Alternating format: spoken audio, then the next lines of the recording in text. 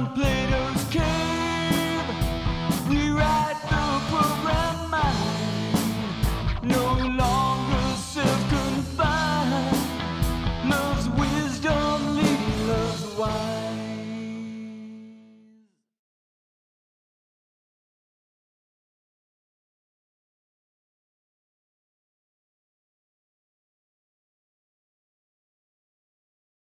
Well, well, let's talk about some of the successes then. I mean, we want to instill in people a recognition that some of the attributes of that culture are still very much with us today.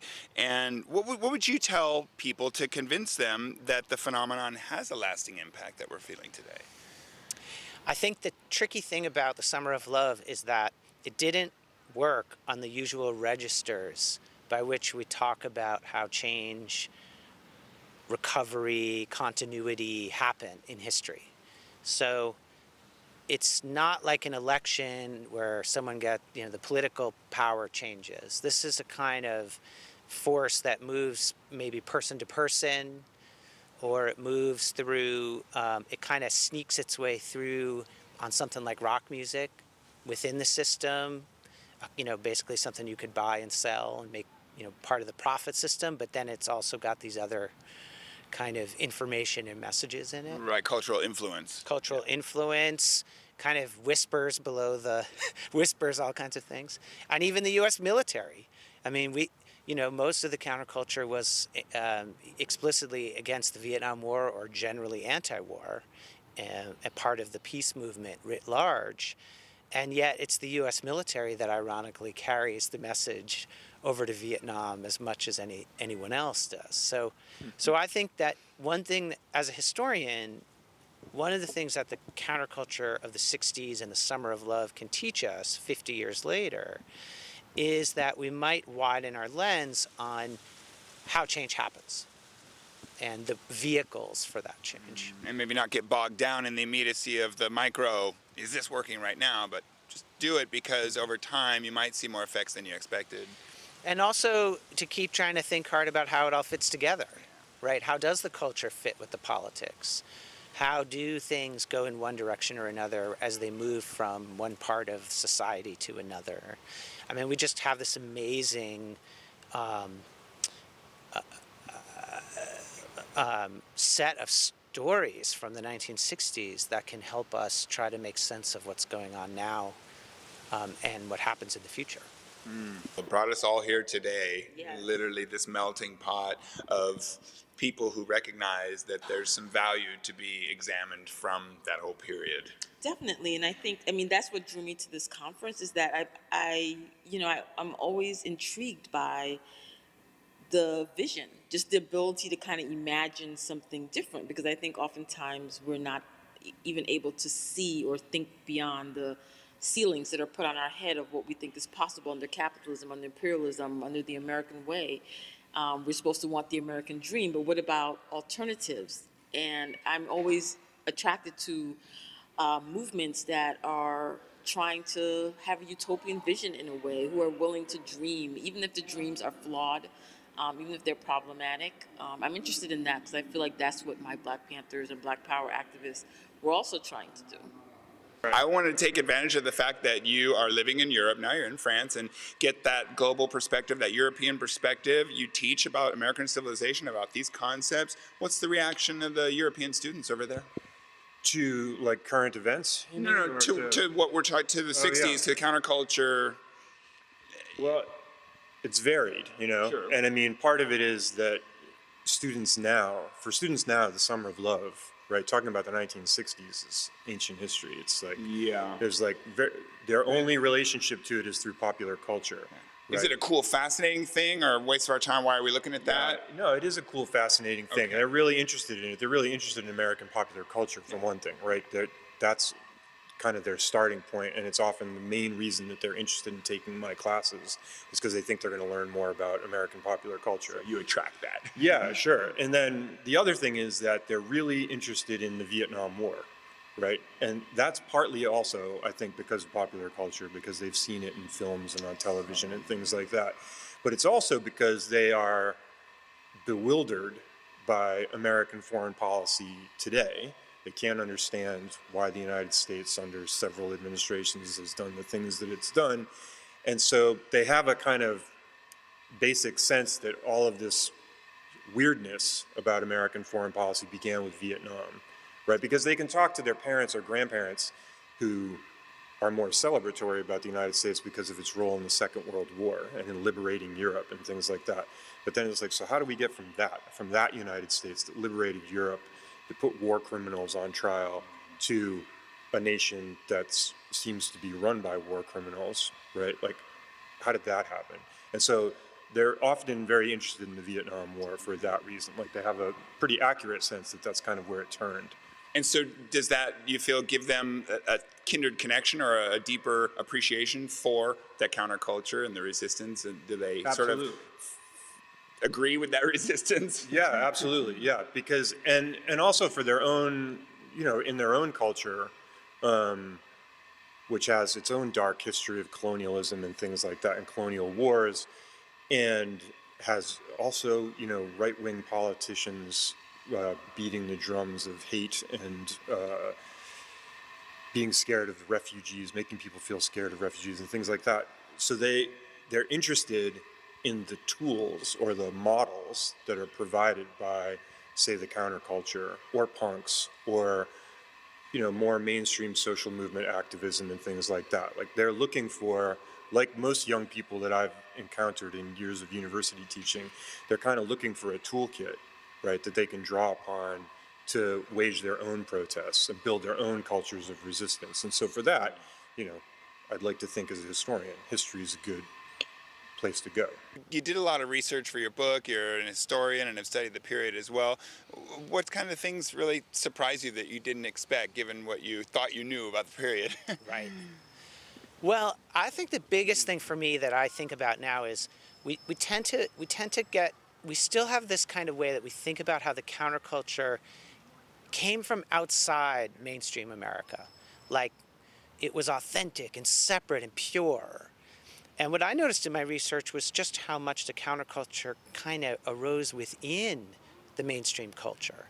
You know, it, rock music was a commercial form of music. Yeah. You know, um, Vietnam was you know, uh, there may have been rock music there, but this was an imperial war yeah. waged by the United States. And yet, to me, what the counterculture was were like these little eddies of questioning, of rethinking, in which people took what they had and sort of tried to turn it in a counter direction. Um, and I think that's, again, something I learned from the time that I was surprised by that is relevant today. You know, it's not about who's the purest and who's the most outside, and it's about, it's pragmatic, not utopian. It's how can we use the things that are in the world around us to turn the world another way, a better way. That, that's where I found the value. I guess what you're helping me realize, and what I realize, well, what you're helping me realize now, is that there are so many different things that influenced the world that originated here. we have been such a beacon historically for people to come and check this out and find some wisdom here and, and participate in some culture that we're doing, that we started, that we initiated here, that was highly influential and resonated around the globe, perhaps. One thing you can you, you you can take away from this period and and sort of the major movements and events and figures is after the Second World War, I mean, San Francisco was always a little bit of a distant outpost, and, and the, the sort of artistic achievements that you see in painting, photography, sculpture, uh, theater, music, especially psychedelic posters, um, almost always comes from a very small, vibrant, collaborative, do it yourself culture. And that's one thing you can say about the San Francisco Renaissance, you can say it about um, the hippies. And it's one of the things that I think are notable is that nobody was waiting around for some sort of official invitation to do something. That instead, what you got were people that just did it. You know, sometimes without a lot of patronage or support, they got their friends together and they started working on something that that they got energy mm-hmm. from. And I, I think that's I think that's an important aspect of of this region's culture mm-hmm. and that that needs to be reinforced because uh, you don't get a permission slip to do these things. Mm-hmm. You just have to get together with your friends and start doing it. There you go. So if it's one major lesson to take away from the 60s counterculture in San Francisco, DIY. Don't wait for someone else. Very much happen. so, yeah. Uh, the hippies clearly had issues with their government and politics. We clearly today have issues with our government and politics. Is there anything we can learn from the political agenda of the people at Mm. that time that we might apply more more effectively today than they did? Yeah. I'm a historian, so I'm not always great on the what do we do now questions. Yeah. But I, I'd say two things that I think a lot about. The first is that a lot of people in in uh, who participated in the Summer of Love actually had a, quite a wide range of political beliefs. Some were came from well, some were red diaper babies who came from you know parents who'd been in the Communist Party and been blacklisted, but others were libertarians and, and conservative in some ways. And I think one of the really important things about let's you know the politics of of the Summer of Love was that it was a universalist politics and it was about trying to um, connect with people across differences. All right, we might have different political beliefs and we're going to argue about them and talk about them, but that doesn't mean we also can't find common ground where we can um, do things together to, you know, that um, in terms of community. So there's a kind of communitarian politics that we might try to recover. And, you know, that means that these, in a way, we think of the counterculture and the summer of love as being about like violating civility you know people were running naked in the streets but i think there was an awful lot of fellowship and kindness and people trying to actually be quite civil with each other Well, and you have diggers with free stores and free food, and, Yeah. and then you had just the, the flower children giving away flowers, Right. even money on the street.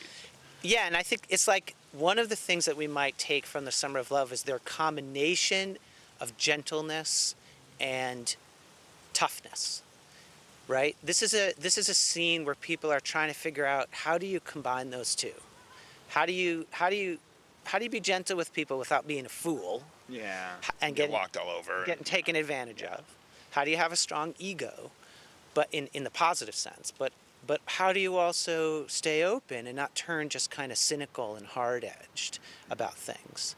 And I think there's something about that. It's like th- there was a sensibility that they were trying to work through that we might try to um, keep in mind or bring or model or, or try to experiment with, given just how divisive everything is now culturally between people uh, in America and in the world. So that's one thing that I think. Why does the why does the summer of love matter in our winter of discontent now?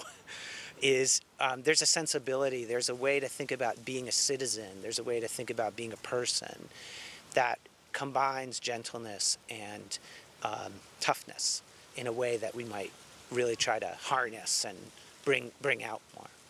And and I think the second thing about um, about the summer of love that matters now is um, is that uh, is that politics needs a culture, right? That you know, there's if you're a person, let's say, of what we now think of as the left or liberals, and you you, you- want the um, uh, the world to move in better directions in terms of climate change, in terms of rights for um, being widely um, received among different people. If you want the world to have more social justice, um, uh, more access to um, uh, a sense of abundance and possibility in the world, if you long for these things now, um, you know, you can go to the barricades, and there may be times when we need now to go to the barricades and march and and and be um, aggressively political and vote and you know the whole range of political activity, but that needs to sit in a cultural life, um, and and and it needs a, a place where we can go to recharge ourselves, to to feel whole, to find fellowship and community, and to um, welcome others to it. And I think um, it's that cultural project that that the that some aspects of the Summer of Love was about, not just. So this is a little different. It's not just that if you change your mind and change consciousness, the world will change. I don't know, maybe, but I think more so that we need to be active political citizens, but we also need to have a culture that we can sit that political activism in, where we feel like life has a richness and a sense of worth to it. And, and I think the Summer of Love got really interested in that. How do you build a community? How do you build a neighborhood? How do you make a commune? Uh, what works? What doesn't? Um, what comes up in those in those places around gender equality and who gets to go and who doesn't and how do we try to tackle these issues? So again, it's like okay, a lot of the communes failed. A lot of the neighborhoods had trouble. They met up against all kinds of problems, but that the spirit of trying to build a robust, humane culture um, in which we practice politics. I think that's a real lesson that Summer of Love can um, carry down to our struggles now in the contemporary moment. You're saying the counterculture presented that new challenge. Absolutely. In every way. Non-defined roles Non- and hierarchy and Look at structure. this. Look at this.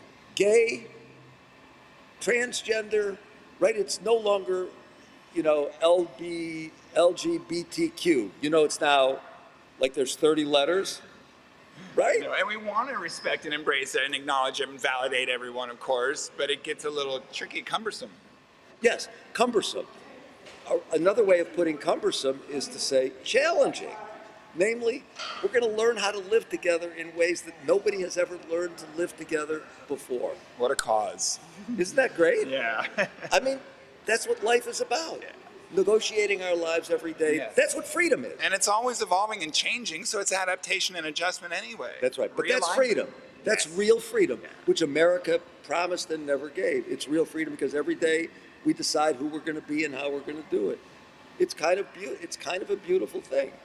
It's what great great art comes out of. I mean, sitting before a page and deciding what to write or a music score or sitting with an instrument. I mean, we all become creative and creators of the kinds of lives we want to live. So that's the counterculture. Mm-hmm. How do we use what we're now learning and exposed to from the counterculture to help us find a way forward through some of the challenges that we face in society? I, I think the counterculture is, in some essence, a really hopeful period in the United States. Mm-hmm. In so much as, if you look at the social conditions of, let's say, 1968, it was a hard world. Injustice, racism. We could go on and on, right? The war in Vietnam, tearing literally people's limbs apart. So it's not like those were the days and everything was sweet. But people challenged those unpleasantnesses, those dangers, those horrors. And, and I think, again, the counterculture is a reminder you don't have to accept the terms of your existence as they were handed down to you. So I think that's, that's the enduring lesson of that period of time.